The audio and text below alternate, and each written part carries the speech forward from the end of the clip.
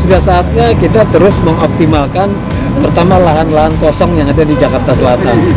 Sayang sekali kalau ada lahan kosong hanya diisi sampah misalnya, hanya diisi tumpukan-tumpukan material.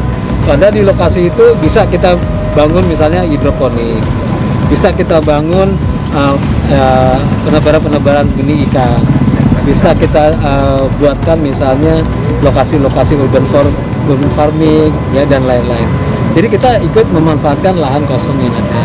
termasuk di RPTRA RPTRA ya, di kayak RPTRA, apa ya. urban farming Kemudian gitu ya. kita juga uh, ke depan uh, kita mengenal ada istilahnya green building ya.